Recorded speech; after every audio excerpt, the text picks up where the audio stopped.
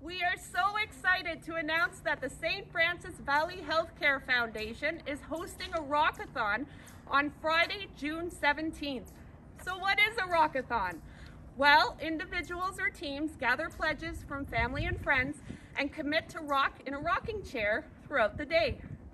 Proceeds will go toward essential medical equipment, including a much needed update to the patient lifts at the Valley Manor. So if you want to support this great cause,